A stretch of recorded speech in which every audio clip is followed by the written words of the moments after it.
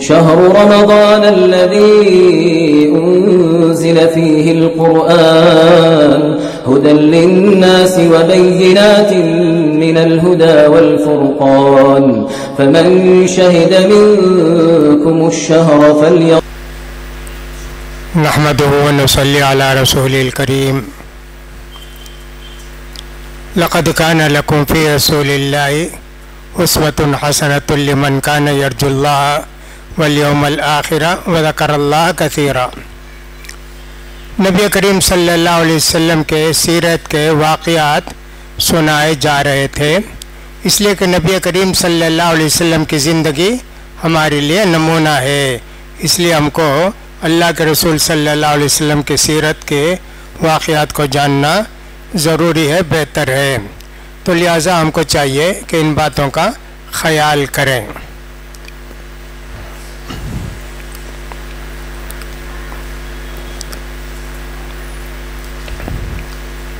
नबी करीम सल्लल्लाहु अलैहि वसल्लम को जो कुछ काफिर सता सके, बोल सके, बता सके, सब हुआ। आखिर में ये हुआ कि साहब इनको कत्ल ही कर दिया जाए तो आसानी हो जाएगी, ये दावत ख़त्म हो जाएगी। वो जब कामयाब उसमें नहीं हुए, ये कहा कि इनको मक्के से बाहर कर देना। कोई इनसे ना मिले, ये किसी से ना मिले इनसे कोई ना ख़रीदे, इनको कोई ना बेचे, इनकी लड़कियों से कोई शादी ना करे, कोई लड़का इनकी लड़की, कोई लड़की इनके लड़के से शादी ना करे, यानी कि टोटल सोशल बाइकाट कर दें।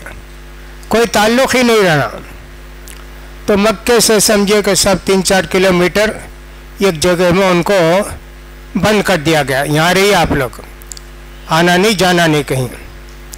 ऐसे अल्लाह के रसूल सल्लल्लाहु अलैहि वसल्लम को, आपके ख़ानदान के सब लोगों को, सिर्फ़ मुसलमानों को नहीं, जितने हैं आपके ख़ानदान के सब जाओ वहाँ, बनो हाशिम और बनो मुत्तलिब, दो बड़े कबीले, इनको कहा कि सब वहीं चला जाना। मुसलमान तो गए, काफिर भी गए। ख़ानदानी एक मोहब्बत रहती है, एक असबियत रहती है।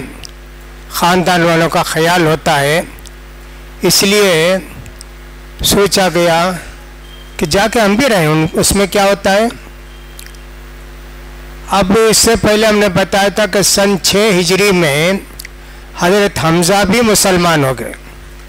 सन छः नबूवत में, हिजरी में नहीं, नबूवत में। अल्लाह नबी, अल्लाह के रसूल नबी बन के छः साल हुए थे। हज़रत उमर भी मुसलमान हो गए थे ना? ये लोग भी जाना। और अल्लाह के रसूल सल्लल्लाहु अलैहि वसल्लम की बीवी खदीजा रज़ी अल्लाह वो भी जाना। सारे बच्चे, सारी औरतें, सारे मुसलमान और बनु मुत्तलिब और बनु हाशिम दोनों ख़ानदान के सब लोग काफिर मुसलमानों इतने लोग, कितने तादाद थी उसकी ज़िक्र नहीं है। तीन सौ थे, चार सौ थे, ढाई सौ थे, वो किसी किताब में लिखा नहीं है। बहरहाल जितने भी रहे हो, डेढ़ दो सौ जो भी रहे हो, चले गए वहाँ। जाने से पहले काफिरों ने एक अग्रीमेंट भी लिखा, समझिए। उसके अंदर ये था कि हम इनको टोटल बाइकाट करने। हैं कोई इनके पास जाना नहीं, कोई इनसे ख़रीदना नहीं, कोई इनसे बेचना नहीं। जब तक कि ये अपना दीन छोड़ के हमारे दीन को नहीं आते, इनके साथ कोई भी कनेक्शन नहीं रखना। और इसमें लिखे थे, बिस्मिकल्लाहुम्मा, अल्लाह तेरे नाम से।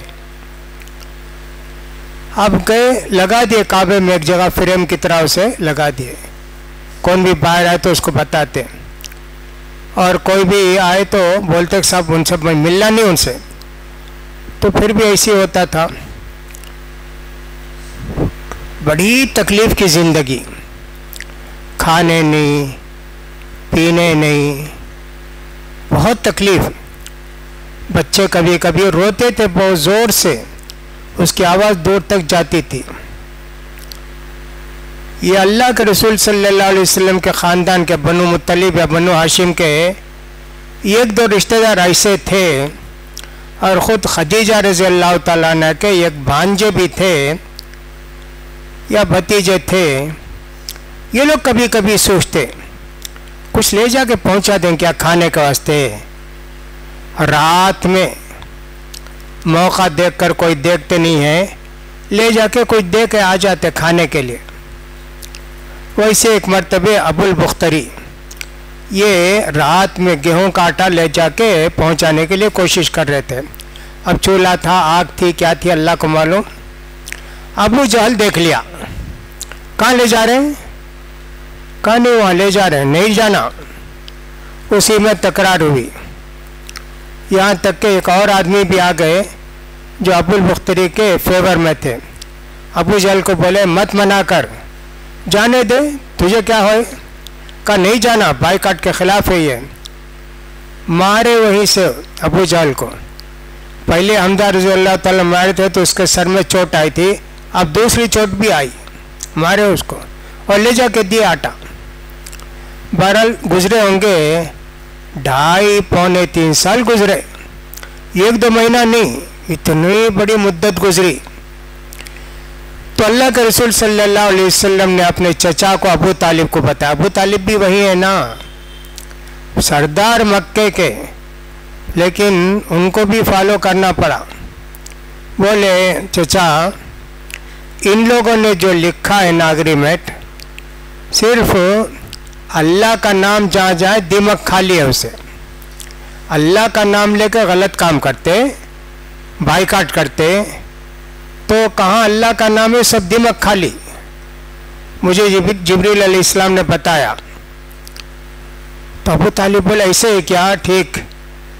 दूसरे दिन गए मक्के को।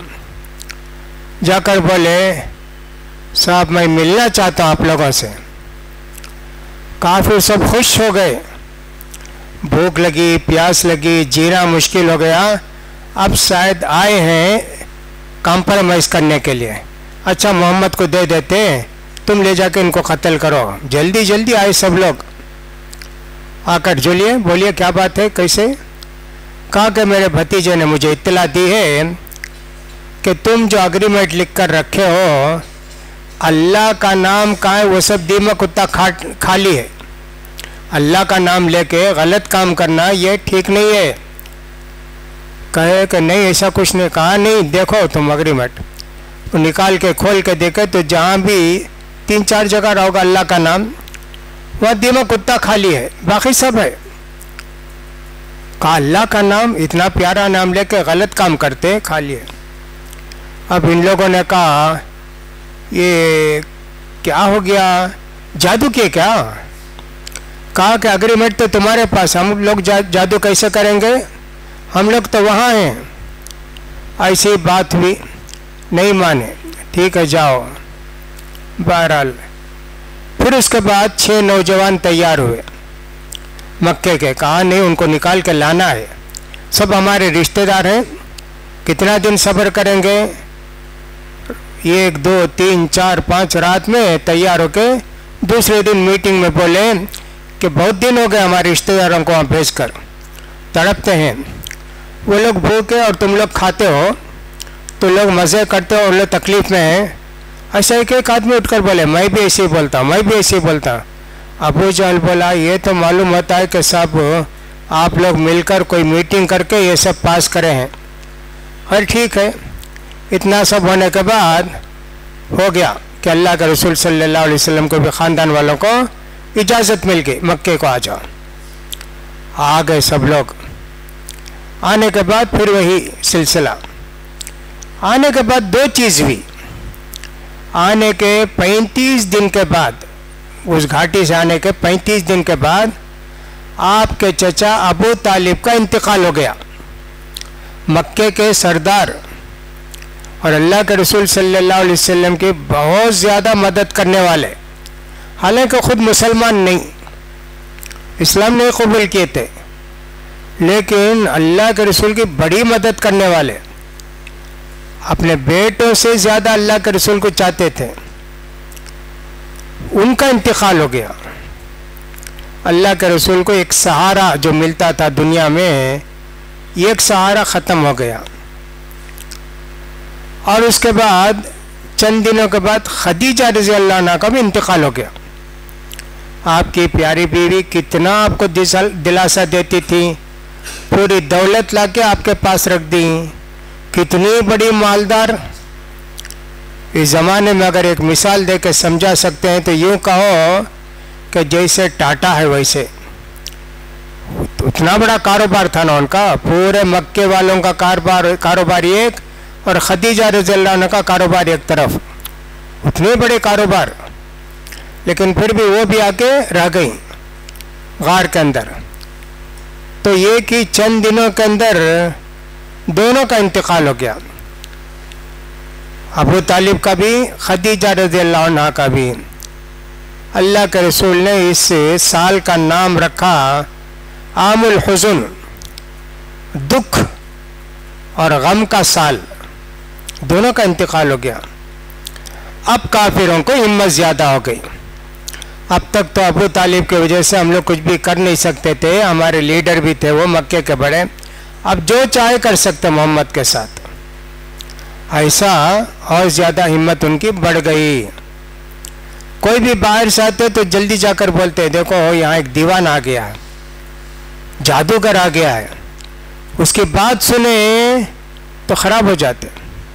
घर में झगड़ा होता। बीवी, बच्चे सब अलग हो जाते, मत जाओ। एक आदमी आए, उनका नाम था तुफेल बिन अमर दोसी। दोसी कबीला, और वन के लीडर थे तुफेल बिन आमर। वो कल्ला वगैरह बेचते थे मक्के को। वो आए तो उन लोगों ने कहा, देखो, यहाँ एक जादूगर दीवाना है। उसकी बात हरगिज नहीं सुनना। जो भी उसकी बात सुनते, वो समझो कि गलत हो जाते। हम लोग सब बड़े डर कर हैं उनसे। नसीहत करते हैं आपको। अच्छा ऐसा है क्या? कहीं भी मिल जाएगा। वो दोनों कानों में रोई रख लिए। उनकी बात सुनना नहीं। एक दिन, दो दिन रखे। उसके बाद मैं को दीवाना तो नहीं। मैं अक्लमंद, ये कबीले का सरदार। ये लोग बोले तो मैं उनकी बात मानना क्या? सुन के देखेंगे क्या पढ़ते हो उसके बाद फैसला करेंगे। तो रात में अल्लाह के रसूल सल्लल्लाहु अलैहि वसल्लम समझे बारह बारह बजे आते। हरम को, मस्जिद को, उस वक्त तुफेल बिन अमरुद्दो से भी एक जगह आकर बैठ गए और कान से रूई निकाल लिए। अल्लाह के रसूल नमाज़ में कुरान पढ़ते, कुरान सुनकर हैरान हो गए, इतना प्यारा कलाम, इतनी अच्छी बात, ये कैसे जादू बोलते? फ़ौरन अल्लाह के रसूल से मिलकर बोले, अल्लाह के रसूल, ये लोग ऐसे बोलते हैं, मैं जो है हिम्मत करके कान से रूई निकाल के आपकी बात सुना। आप सच्चे हैं, हक पर हैं। मैं आप पर ईमान लाता हूँ। मुसलमान हो गए हो, उसी वक्त रात में। अल्लाह के रसूल ने कहा, ठीक, बहुत अच्छा है। अब तुम्हारी, तुम्हारा फ़र्ज़ है, तुम जाके अपने कबीले में लोगों को इस्लाम समझाओ। हाँ अल्लाह का रसूल, जाता हूँ। तो फेल बिन आमरदोसी गए अपने कबीले को। जाकर जो वहाँ दावत तबलीग के तो पूरे कबीले वाले मुसलमान हो गए। इतना बड़ा असर कबीले का सरदार ना, ऐसा हुआ। खैर, वो तो वहाँ चले गए मक्के में। अब काफिरों ने कहा भाई मोहम्मद का अच्छा मौका मिला है। अब इसलिए इनको और ज़्यादा परेशान करें। बहुत ज़्यादा परेशान किए तो अल्लाह के रसूल सल्लल्लाहु अलैहि वसल्लम ने सोचा, मक्के वाले तो मुसलमान नहीं होते और ये बहुत सख्त लोग हैं, तकलीफ़ भी ज़्यादा देते हैं। मक्के से सवा सौ किलोमीटर के दूर पर एक बस्ती थी, उसका नाम ताइफ। अभी है बस्ती वो, ताइफ। अब ज़रा उसके ताइफ की शक्ल सूरत दूसरी हो गई है। पहले समझे कि नीचे ही से चल के जाते थे 125 किलोमीटर तकरीबन है ताइफ। वहाँ तीन बड़े आदमी रहते थे। तीनों भाई और ताइफ के गोया बादशाह की तरह रहते तो अल्लाह के रसूल सोचे, उनको जाकर बोल कर देखेंगे, क्या? इस्लाम कबूल करो। अगर वो लोग इस्लाम कबूल कर लिए तो एक सपोर्ट हो जाएगा दुनिया का। ये सोचकर अपने आज़ाद करदा गुलाम को, जैद बिन हारिसा को लेकर निकले। चलो जी, जाएँगे ताइफ को। चल कर गए। कोई घोड़ा नहीं, कोई ऊँटनी नहीं। 125 किलोमीटर। गए गए गए बहरहाल, पहुँच गए।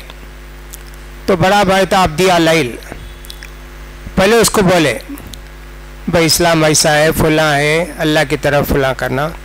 सब सुन लिया। सुनने के बाद बोला मैं तुम्हारा साथ नहीं दे सकता। मैं तुम्हारे ऊपर ईमान नहीं ले सकता। मैं तो समझता हूँ कि तुम गलत आदमी हो। ऐसे क्या क्या सब बोला।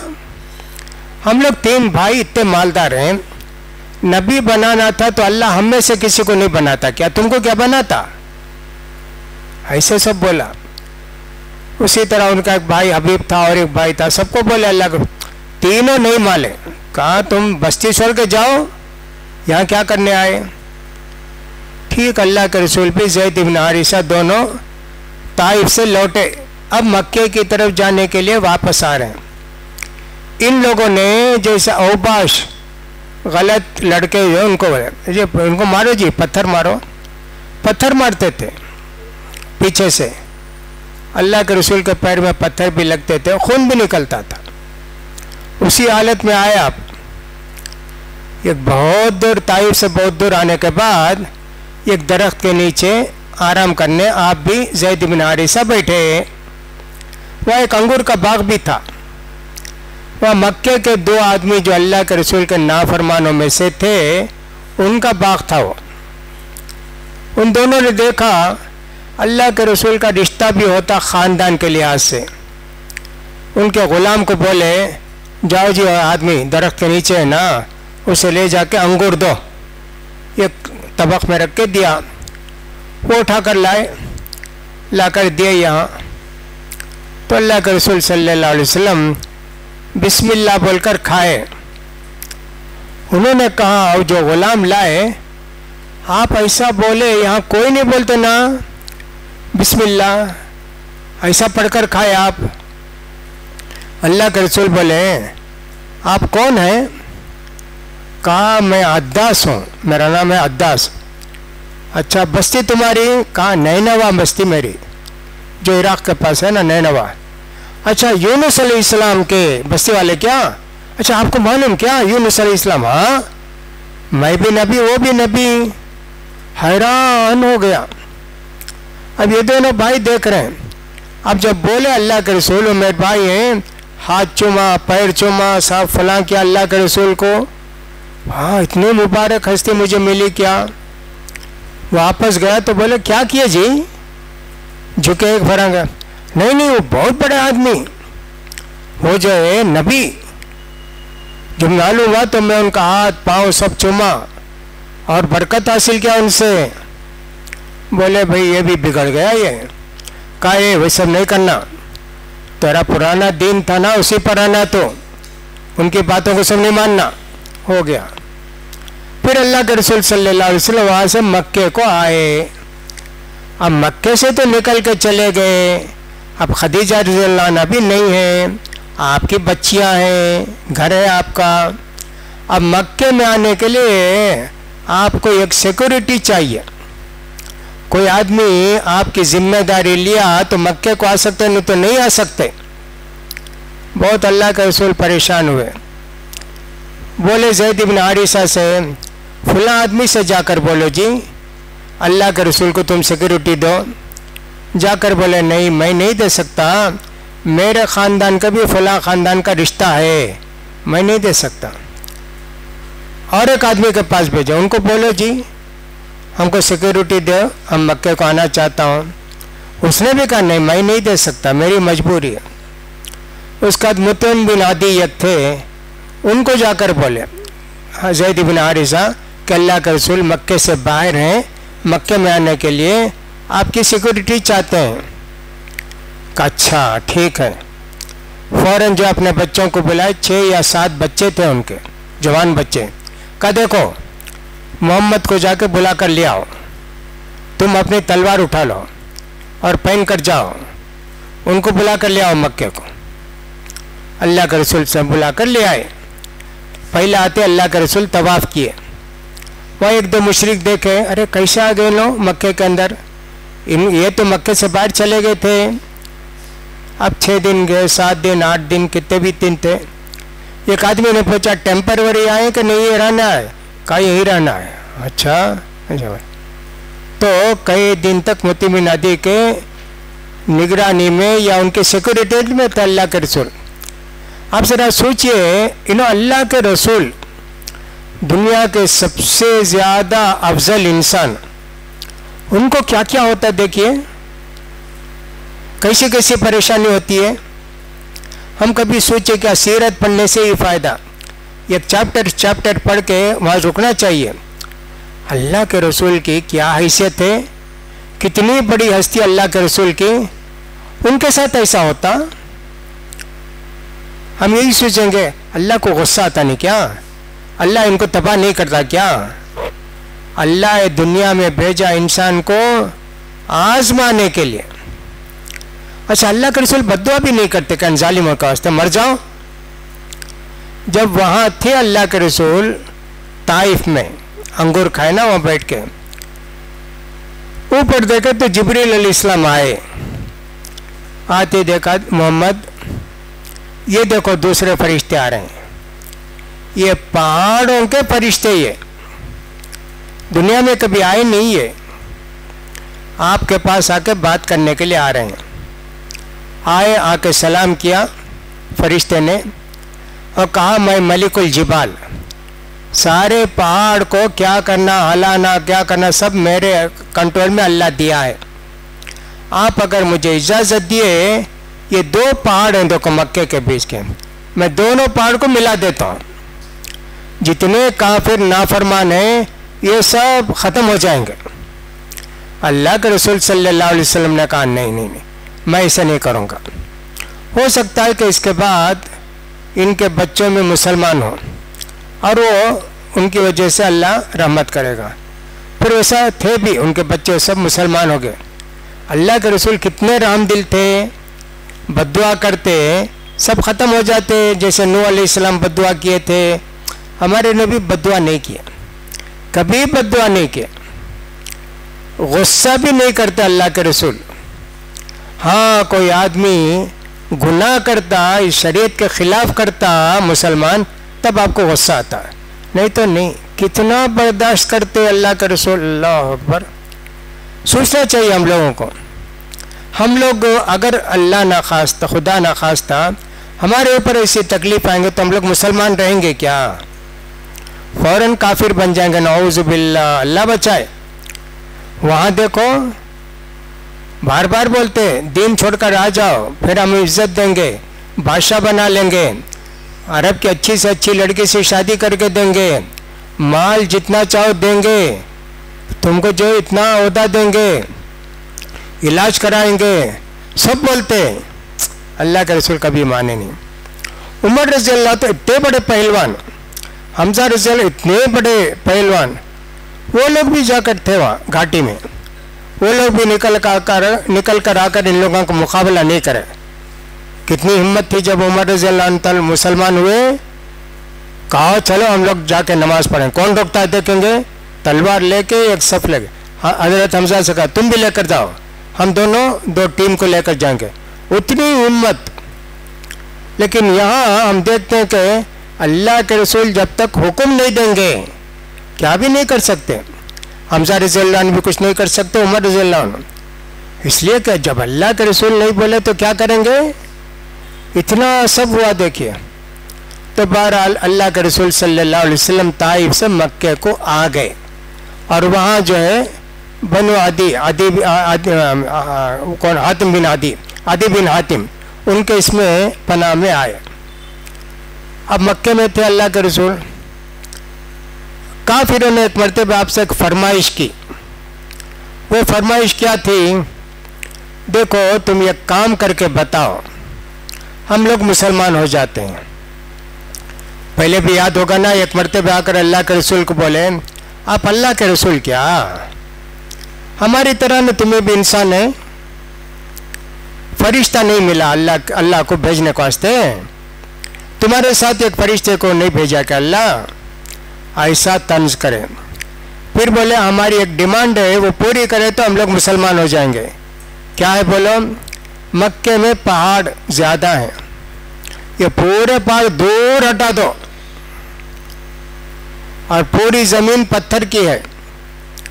इसमें ये पत्थर सब कहीं चला जाए, या खेती बाड़ी होना। और फिर नहर। पानी की तकलीफ़ है। नहर बहाओ। कितने डिमांड किए अल्लाह के रसूल ने फरमाया, मैं हिदायत लेकर आया हूँ, ये सब लेकर नहीं आया। बाग बनाने के लिए, खेत बनाने के लिए, और सब वो पहाड़ों को इधर उधर करने, उसके वास्ते आया नहीं मैं। मैं तो हिदायत का पैगाम लेकर आया हूँ। वो डिमांड उस मर्द करे, बहुत पहले करे थे। अब एक नई चीज़ पैदा किए। वो क्या? कहते, देखिए, चाँद है ना, और उस वक्त चौदहवीं के चाँद, जिसे बदर बोलते कहा, इसको तुम दो टुकड़े करके बताओ। अगर करे तो फिर हम मुसलमान होते इख्तरबत सात वन शक्ल कमर।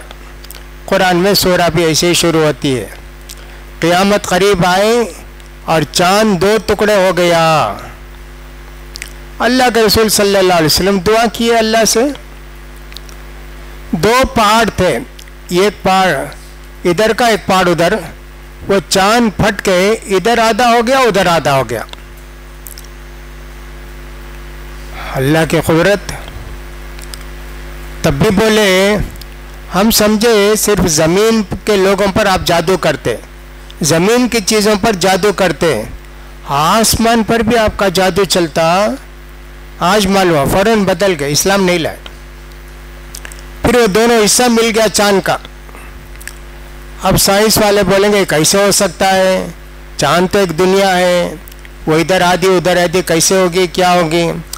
अल्लाह की कुदरत, अल्लाह जो चाहता है, करता है। दुनिया इतनी बड़ी है, जब अल्लाह ताला कहेंगे ख़त्म हो जाए तो उसी वक्त ख़त्म हो जाएगी। कोई उसके लिए घंटा, दो घंटा नहीं चाहिए। क़ियामत जब आएगी।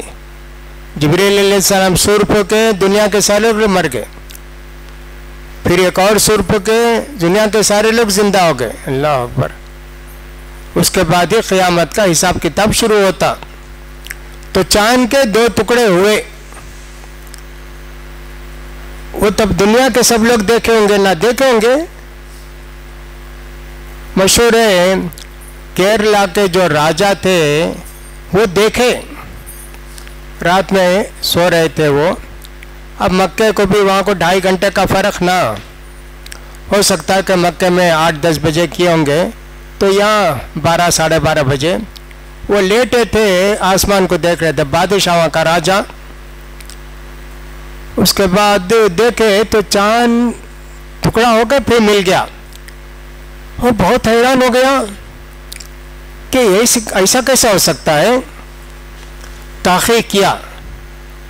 तो लोगों ने बताया कि साहब, मक्के में एक आदमी है, वो अपने आप को नबी बोलते।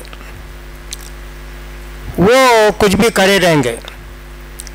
फ़ौरन अपने बेटे को, किसको किसको बुलाए एक सात आदमी को, कहा के जाओ। जाके हो उनसे मिलकर आओ। उनका मैसेज लेकर आओ ताकि हम लोग भी ईमान लाएँ। वो जो भी जबान बोले होंगे। तो छः सात आदमी गए मक्के को, केरला से। जाते वक्त कुछ तोहफा भी भेजे वो राजा, खासकर अदरक। और उसका चमड़ा, ऐसे कुछ अल्लाह के रसूल को तोहफा। जाके दो अदरक कितनी बेहतरीन चीज़ है, देखिए। कुरान में भी उसका ज़िक्र है। और बहुत फ़ायदे की एक चीज़ बनाए अल्लाह दुनिया में। अदरक भी है, लहसुन भी है, ऐसी बहुत सारी चीज़ें, मेथी है।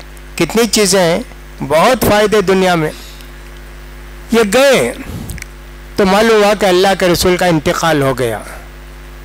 हालाँकि उसके बहुत ज़माने के बाद अल्लाह के रसूल का इंतकाल हुआ, लेकिन ये लोग कैसे पहुँचे, क्या पहुँचे, उनकी कश्ती को क्या हादिसा हुआ कि कहाँ चले गए? बहरहाल, गए। जाके वहाँ से एक आदमी को भी लेकर आए। हमारी बस्ती में दावत और तबलीग के लिए एक आदमी को दो। वहाँ जाकर हमको समझाएँगे। अब इनकी ज़बान मलयालम और वहाँ मक्के की ज़बान अरबी। कैसा समझते थे मालूम नहीं। अजीब व गरीब है, सब समझ जाते थे। कुरान में एक आदमी का ज़िक्र आता जुल्करनैन। उनका भी वैसी है। उनकी क्या की ज़बान, इनकी क्या की ज़बान। बस्ती में गए तो बोले याजूज माजूज हम लोग बहुत सताते आप किसी तरह कोई पहाड़ के ऊपर ऐसी दीवार बना दो आना नहीं। महीने में, दो महीने में पूरे लोग आते आकर हमारे पास क्या क्या है, खाने की, पीने की, पैसे, ओढ़ने की, सब लेकर चले जाते हैं। हम क्या अभी नहीं कर सकते। बहुत पावर बहुत सताते हम लोग पैसा देने तैयार हैं। जो कुछ कमा सकते कमा के देते आपको। तो जुल्कर ने तो दुनिया का सबसे बड़ा बादशाह, ना सिकंदर बादशाह समझो। कहा, मुझे पैसा क्या करना है? अलबत्ता, मैं तुम्हारी मेहनत, लेबर चाहिए मुझे। उसका दो तांबा शीशा पत्थर सब मिला के वो बनाए, गरमा के फुला करके, लंबा किस्सा है, वो दीवार बना दी का अब ये लोग नहीं आ सकते। एक चिकनी दीवार बना दिया कुछ भी। तो हदीस में आता कि याजूज माजूज जो उस पार हैं, अब भी हैं, निकलने की कोशिश करते हैं। कुछ भी करके, चाट के फुला करके, थोड़ा सा सुराख बनाए इतना। रोज कोशिश करते शाम तक तोड़ने, फोड़ने, शाम हो जाती। अच्छा कल देखेंगे भाई। रोज जाते, ऐसे ही बोलते। आखिर में शायद इंशाल्लाह बोलेंगे क़यामत के करीब तो दीवार में सुराख पड़ जाएगा, दीवार गिर जाएगी, पूरे लोग आ जाएँगे। आके दुनिया का पूरा पानी पी लेंगे, मुसलमानों को सताएँगे, परेशान करेंगे। ईसा इस्लाम उस वक्त दुनिया में रहेंगे। उनको मालूम हुआ कि याजूज माजूज आ रहे पूरे लोगों को लेकर पहाड़ के ऊपर चल जाएँगे। भाई, फितना है वो। बहुत मुसीबत उन वो हैं। फिर उसका याजूज माजूज आएँगे दुनिया में क्या क्या सब खाएँगे, पियेंगे, शरारत करेंगे। कहा अल्लाह, कौन अल्लाह है? आसमान में तीर मारेंगे। तीर मारते, अल्लाह को। वो तीर ऊपर जाके आता ना, उसमें खून लग कर रहता। वो अल्लाह क्या चाहता था? अल्लाह ने क्या किया? देखे, अल्लाह को मारे। खून अल्लाह का देखो कैसा है। ऐसे बेवकूफ़ लोग थे। तो याजूज माजूज तो जुलकर ने इनके मतलब मैं कह रहा था तो यहाँ अल्लाह की कुदरत, जो चाहे कर सकता है, ना चाँद के दो टुकड़े हुए तो केरला के लोग जाकर आए। तो वो मैं ज़बान कह रहा था जुल्खरैन की ज़बान दूसरी, बस्ती वालों की ज़बान दूसरी, लेकिन पूरे केस समझ गए। वैसे ये लोग भी किसी आदमी को लेकर आए। आने के बाद यमन पहुँचे। पानी का जहाज़ उस ज़माने में यमन में उतरे तो उसमें जो बादशाह के बेटे थे, राजा के बेटे, उनको शायद तबीयत वगैरह ख़राब हुई वो उनका इंतकाल हो गया। लोग कहते यमन में उनकी खबर है। लिखा है कि हिंदुस्तान के राजा की खबर। हालाँकि मुसलमान हो गए थे ना, इस्लामी खबर हो। आए। तो ये लोग सब आए। एक आए या पाँच, छह आदमी आए दीन सिखाने के लिए। ये लोग आए, केरला को आए, आके दीन सिखाए, दीन बोले, सिखाए। वो तीन या चार आदमी की खबर कालीकट के पास है, कासरगोड। वहाँ है खबर उनकी, बहुत पुरानी मस्जिद की तरह है, और मस्जिद के बाजू उनकी खबरें भी हैं। जाते लोग देखने के लिए, कासरगोड के पास है। तीन या चार खबरें बहुत पुरानी। मैं गया था लेकिन देखने का मौका नहीं मिला। चले आया। तो देखिए, वहाँ से आए, जान दे दिए, इंडिया में आके दावत और तबलीग करके इतने साहबा, तीन या चार, वो लोग ये इंतकाल भी हुए। तो चाँद का टुकड़ा दो हुए से देखे, राजा देखे। देखकर बोले कि साहब, ये कोई बड़ी चीज़ है दुनिया की। बहुत बड़े आदमी हैं। तो अपने बेटे को भेजे वो। तो लोग ये कहते हैं, साहब, चाँद के दो टुकड़े पूरी दुनिया वाले देखे होंगे ना। अब रात का टाइम कौन जागते हैं? कौन सा इलेक्ट्रिसिटी थी? कौन सा करंट था कि लोग जागे? अंधेरा होते जाके सोते थे। और ये चौदहवीं का चाँद था, उसका उजाला तो रहता है, लेकिन उसके लिए कौन जागते? शाम भी जाकर सो गए, ऐसे ही था। तो चाँद के दो टुकड़े करके बताया, अल्लाह कर सो तब भी मानते, क्या कहा साहब, ये तो बड़े जादूगर मालूम होते हैं।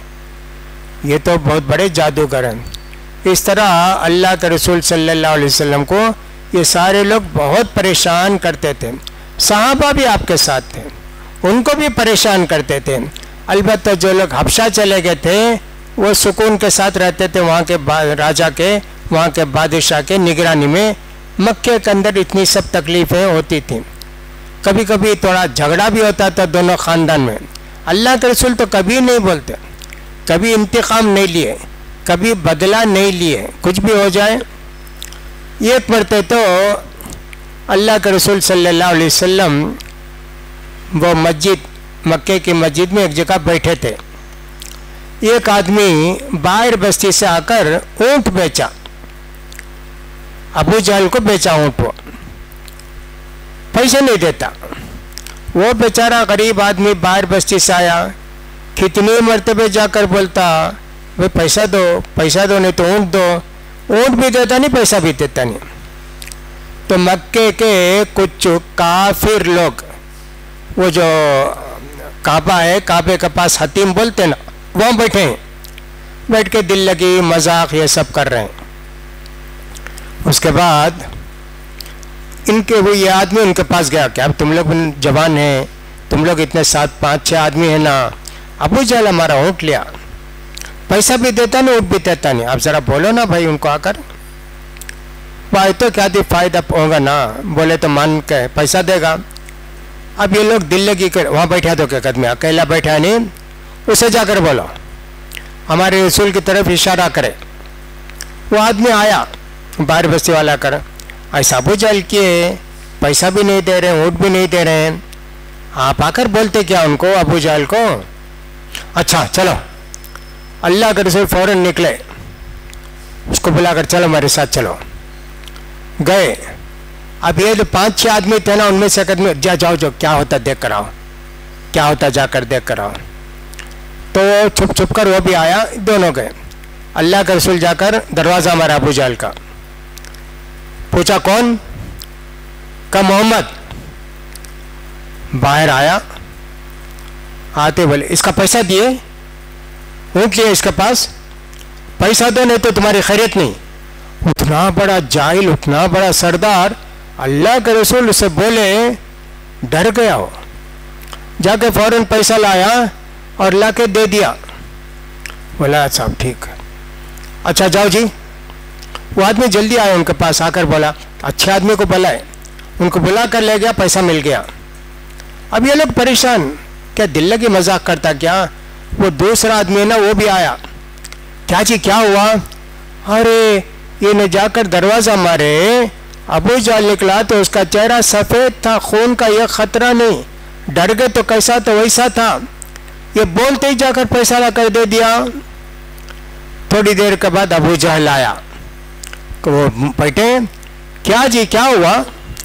तुम तो हम लोगों के बड़े आदमी, सरदार, तुमको इतनी हिम्मत? मत पूछो मत पूछो। वो जब दरवाज़ा आवाज़ दिए मोहम्मद, एकदम मुझे हौल शुरू हो गया, डर शुरू हो गया। हालाँकि इससे पहले क्या क्या करता था? अल्लाह के रसूल कितना सताता था? लेकिन कहा मैं निकल के आया और जब बोले, पैसा लाओ मैं देखा कि उनके कंधे पर ऊँट एक बैठा हुआ है और मुँह खोला हुआ है। मालूम होता कि निकल जाएगा मुझे। मैं जल्दी जाके पैसा दे दिया। मैं बच गया। अब इतना होकर भी ईमान नहीं लाता। फिर एक मतलब ऐसे हुआ कि अल्लाह के रसूल सल्लल्लाहु अलैहि वसल्लम बोला, काफिरों, क्या भी महिष मारना क्या उनको? महिष सताना क्या? तुम लोग कुछ नहीं कर सकते क्या? तुम भी ना कुछ करो। अच्छा नहीं करते का, फिर करता हूँ, देखो। कल जो सजदे को जाएँगे नहीं, रस्सी ला के चादर ला के उनके गर्दन में डाल के दो तरफ़ से खींचेंगे। दम घुट के मर जाना उन्होंने अल्लाह के रसूल आए, नमाज़ पढ़ रहे थे। अबू जल चादर लेके आगे बढ़ा, फ़ौरन वापस आ गया। क्या जी, क्या हुआ? एक गड़ा आग उसमें। वो आग मुझे खींच रही थी। डर के भाग के आ गया। अल्लाह के रसूल फरमाया, अगर मेरे करीब आता, उसी जहन्नम में गिर जाता वो। इतना हुआ तब भी इस्लाम नहीं लाता।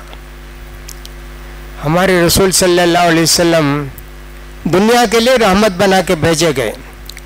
ये काफिर कितना अल्लाह के रसूल को परेशान करते हैं। अब तक भी बदुआ नहीं करते अल्लाह के रसूल। अल्लाह इनको तबाह कर। हाँ क्या बदुआ करते हैं?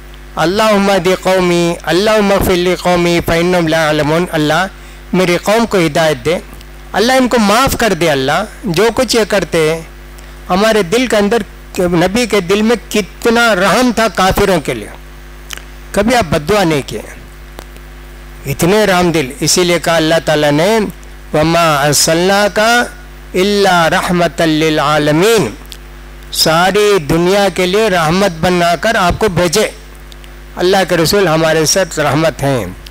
इतना सब वाक़ हिजरत के मौके पर लिखते हैं, ये अल्लाह के रसूल की ज़िंदगी में लिखते हैं। अब समझिए कि तकरीबन कितना हो गया। नबी बनकर तकरीबन दस साल हो गए, अल्लाह के रसूल। ये सब दस साल में इतना हुआ।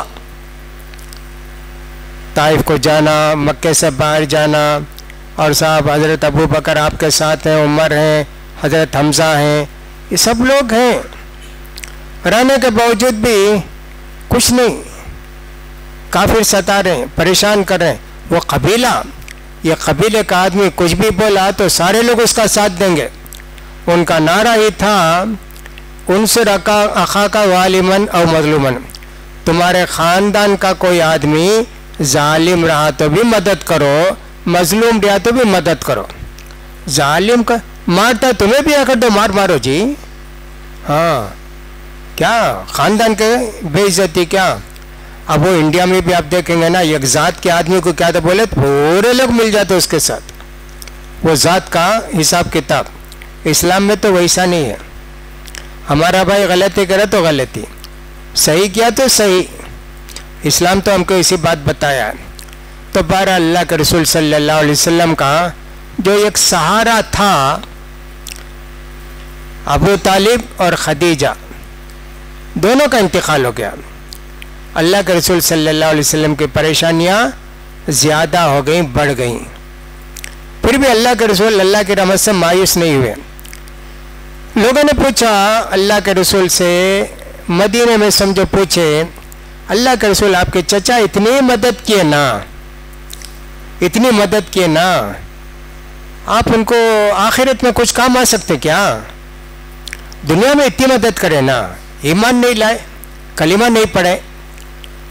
अल्लाह के रसूल फरमाया हाँ। मैं अल्लाह से बहुत दुआ दुआ किया हूँ, जहन्नम वालों को पूरे आग में जलना है। मेरे चचा को सिर्फ़ आग की चप्पल पहनाएँगे। वो चप्पल में इतनी गर्मी रहेगी, दिमाग खोलेगा। और समझेंगे, अबू तालिब, सबसे ज़्यादा अजाब मुझे हो रहा है। हालाँकि सबसे कम अजाब उनको हुआ। अबू तालिब मुसलमान हुए नहीं हुए, हदीसों से तो मालूम हुआ कि मुसलमान हुए नहीं हुआ। जब उनके इंतकाल का वक्त हुआ, मालूम हो गया मक्के के लोगों को, अरे उनका टाइम आखिरी हो गया। जल्दी जाओ, नहीं तो कलीमा पढ़ लिए तो हमारे लिए मुसीबत। फ़ौरन अबू जाल सब आकर बैठ गए। वहाँ एक आदमी यहाँ एक आदमी, वहाँ आदमी। अल्लाह के रसूल को मालूम हुआ कि अबू ताली की तबीयत बहुत ख़राब है। जाकर कलीमा के वास्ते गए, बैठे जगह नहीं वैसा फैल कर बैठ गए। फिर भी अल्लाह के रसूल थोड़ी जगह करके चचा, ये कलीमा पढ़ लो चचा, ये आखिरी वक्त। मैं अल्लाह क्या सिफारिश करके आपको जन्नत में पहुंचाऊँगा। चचा बोलो अल्लाह ला अल्लाह पढ़ लो, मोहम्मद रसुल्ला पढ़ लो। अबू तालिब खामोश थे, उसके बाद बोले, मोहम्मद, मैं अगर कलीमा इस वक्त पढ़ लिया तो मक्के वाले क्या बोलेंगे? ओ, डर कर कलीमा पढ़ा, डर कर कलीमा पढ़ा। इसलिए मुझे छोड़ दो। मैं अपने ख़ानदान के रस्म रिवाज पर रह जाता हूँ। ये अबू जाल भी और दूसरे भी। अबू तालिब खबरदार इस टाइम में आप बदले। तो पूरी दुनिया में आपकी बदनामी होगी। हम लोग सब आपको ये करेंगे, वो करेंगे। नई कलिमा पढ़े, उसी में इंतकाल हो गया।